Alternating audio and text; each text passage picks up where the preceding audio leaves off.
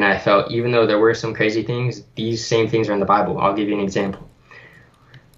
The marriage of Aisha, it's like I don't know how to explain that. Like I don't even know how to explain that. I don't know if that disproves the religion because at the end of the day, what are we using? Our subjective point of view? I maybe the Christians are using that, but like I said, I feel like for example in the Old Testament, I don't know exactly the translation, but I have the video that talks about it, where it talks about taking children as concubines, essentially as sex slaves, and it's in oh, what's his name presented this in a recent video, and you could find it in Farid Responds recent video. It's I think a guy you actually debated. I've yet to see the debate, but his name is Zakir Hussain. Maybe is that his name? Yeah, there's a Muslim apologist named Zakir Hussain. Yeah, so he's the one who presented that verse, and I was like, okay. And then people are saying Mary is a certain age. I don't know. Like I said, I'm still in a phase of trying to learn these things myself. Well, all right. A uh, couple things here. You, you might want to. Um, um, I'm not familiar with what Zakir Hussain said, but you, you, might want to go ahead and take a look at uh, the passage he's referring to. I'm, I'm, I'm, assuming he's referring to the passage um, in Numbers, but th- there's yeah, nothing. It, yeah. There's nothing in there saying have sex with these young girls. There's nothing in there saying have sex with these young girls. It's they were not under a death sentence because they weren't the ones who did some very very bad things. You, you you have to get the context of how they were actually part of a plot uh, with a false prophet to get the children of Israel to be led away from uh, God through sexual, basically drawing them away through through sex. Come come join us and so on. And the passage, any the the the girls who were too young to have taken part of that, taken part in that, they're not they're not under any sort of punishment. And so, the if you just read that, you're saying, oh. Keep these young girls. Ah, it must be to go have sex with them, and it's just it's just not what the passage is saying. Uh, and I thought my jokes were bad. You, you have to get the context of how they were actually part of a plot. How about a magic trick? You, you have to get the context up. you, you have to get the context of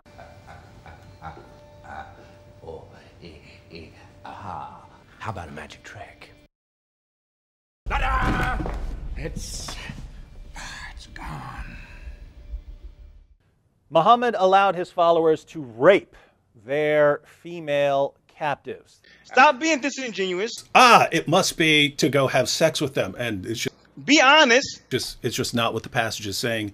Stop being disingenuous. Just it's just not what the passage is saying.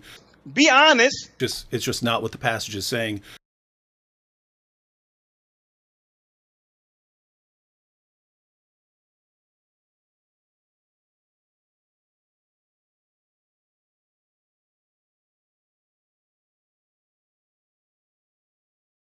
Muhammad allowed his followers to rape their female captives, their war captives. You go out, uh, you win a battle, uh, a lot of the men will be killed, the women will be taken captive, and what do you do with these women? Interestingly, David Wood says, made a statement about Islam allowing the rape of captive women. He said this sitting next to a guy called Sam Shamoun, who himself has connected Numbers chapter 31 with Deuteronomy chapter 20, verse 14. And the interesting thing is in Numbers chapter 31, the children of Israel have a battle, and the soldiers spared some of the women uh, and animals, and they came to Moses, who's obviously a prophet of God, who's Jesus according to David Wood. And Moses said, Why have you spared all these women, all these girls, and all these children and donkeys, etc.? Slay them all but keep for yourselves, that these are the key words, take for yourselves the female children. Now, biblical scholars mention that this phrase, take for yourselves the female children, means take them as concubines or wives. Now, the interesting thing is, Sam Shamoun, who's sitting next to David Wood, he actually connected Numbers 31 to Deuteronomy chapter 20. Now, the interesting thing about Deuteronomy chapter 20, where it tells you to marry these um, women that you desire in battle, is in verse 14. In, in the Hebrew is clear, but you have to go to the right Bible translation to find this. In the Good News Bible, this is what Deuteronomy chapter 20, verse 14 says Later, if you no longer want her, you are to let her go free since you forced her to have intercourse with you. So let's put this together. Numbers 31 says that you can keep female children, prepubescent children, for yourselves. Deuteronomy chapter 20 implies, uh, says that you can marry them and it implies that they were allowed to have forced, in other words, rape, intercourse with them. So according to Sam Shamoun, who's sitting next to David Wood, the Bible allows, Christianity allows for you to rape prepubescent girls. There's nothing in there saying have sex with these young girls. And this guy wants to speak about Islam where there's no such thing in Islam. We, we all know this, and any Muslim with his head screwed on knows that you're not allowed to do this. But yet he has to admit this because the guy sitting next to him affirms this. Right, right. Very interesting. Ah, it must be to go have sex with them, and it's just it's just not what the passage is saying. Now prepare for the shock. I said prepare for the shock. Read the text and see that it is God speaking supernaturally through Moses. The same God who knows all things and sees all things is the same God who can tell them, here are the virgins, set them apart, and protect them as an act of grace and mercy. They didn't have to touch them physically. They didn't have to sleep with them to determine whether they were virgins or not. They had God there to reveal it to them.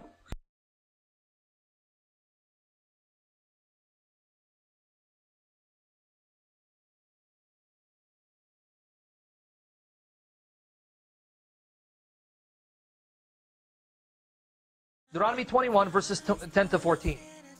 When you go out to war against your enemies, and Yahweh your God gives them into your hand, and you take them captive, and you see among them captives a beautiful woman, and you desire to take her to be your wife, and you bring her home to your house, she shall shave her head and pare her nails, signs of mourning, mourning the loss of her loved one, mourning the loss of her loved one, mourning the loss of her loved ones. She shall take off the clothes in which she was captured, and she'll remain in your house and lament her father and her mother a full month. After that, you may go into her and be her husband. After that, you may go into her and be her husband. Which captive woman in her right mind would want to willfully sleep with her captor who has just murdered her family, her father, uncle, and relatives? Which captive woman in her right mind would want to willfully sleep with her captor who has just murdered her family, her father, uncle, and relatives?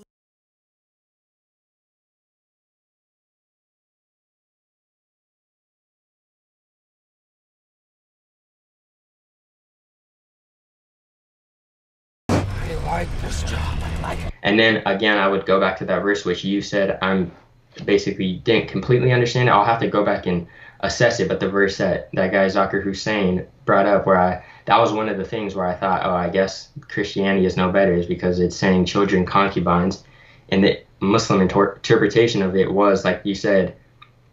You said they were. It's because they didn't have sex that they were being brought, whereas the Muslim interpretation is they were being brought because they only were willing to have sex with virgins, and due to the fact that children are virgins by nature, most likely, that they are now bringing these virgins to use as sex slaves and concubines.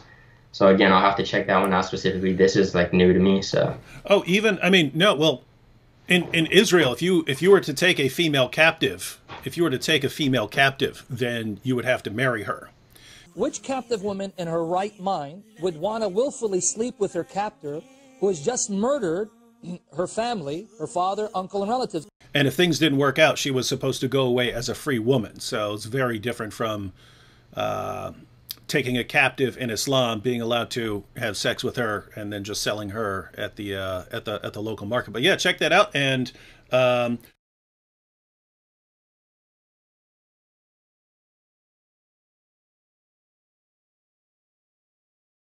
anyway, what I was pointing out is even in Israel, when they're taking when they're taking captives, um, they have to marry those captives. And the point here is, yeah, this wasn't because this wasn't because oh they're young girls that you get to have sex with. It's these girls were the ones that didn't participate in this crime, and therefore they will not be held accountable for that. Right. Now you could interpret it as you could interpret because it doesn't say. You could interpret that as, and then Right. they they grabbed these young girls and they all took them back to their tent. It's not what it says. You have to read that into the text. But yeah, go ahead and read the passage and get a Christian perspective and get a, a Muslim perspective, and then see Right. um, you know, see what you think. I said, Your problem is getting compounded. Islam offers you a solution. You laugh at us. I said, The laugh is on you. The laugh is on you. You know, the Bible does say that the Holy Spirit is within us. As the Holy Spirit dwells within us, uh, the Bible also speaks about how truth dwells within us.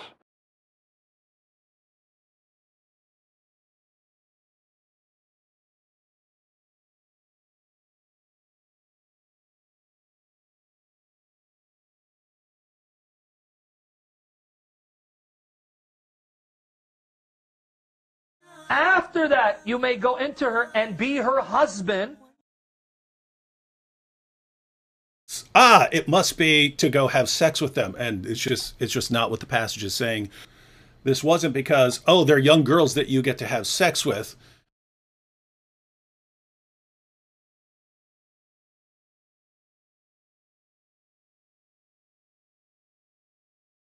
If you were to take a female captive, then you would have to marry her. Which captive woman in her right mind would want to willfully sleep with her captor who has just murdered her family, her father, uncle, and relatives? If you were to take a female captive, then you would have to marry her. This wasn't because, oh, they're young girls that you get to have sex with. Well, it, you're all over the place. You're fumbling all over the place. It's embarrassing. Well, it, well, it, what is happening to you? Where is the, why is the spirit deserting people?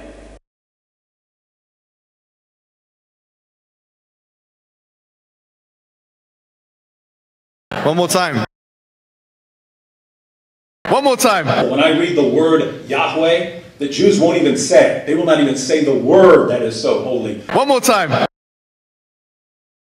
Okay, okay. Well, then let's see if they're consistent. In Numbers chapter 31, it's very, very clear on the orders of Jesus, who is the Lord. Yeah, Jesus, who's allegedly the Lord, on his orders and the orders of the prophet of Jesus, Moses. Um, the Israelites um, Israelite soldiers are told to take the female children for themselves. Now, the phrase take the children for yourselves means take them as concubines or take them as your wives.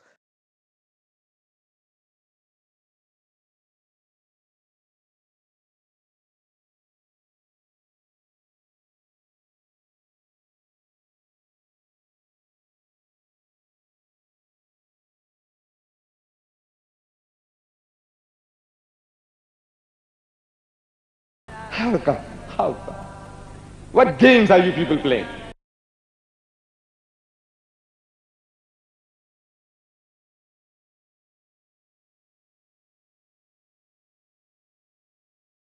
Female children, and they were allowed to consummate the marriages with these female children, according to some of the biggest scholars, uh, academic scholars, and um, many rabbinical sources. Muhammad allowed his followers to rape their female captives. But when you come with lies and deceit stuff like that, then you really you, you embarrass yourself more than anything else. إنا كفيناك المستهزئين الذين يجعلون مع الله إلها آخر فسوف يعلمون ولقد نعلم أنك يضيق صدرك بما يقولون. فسبح بحمد ربك وكن من الساجدين. واعبد ربك حتى يأتيك اليقين.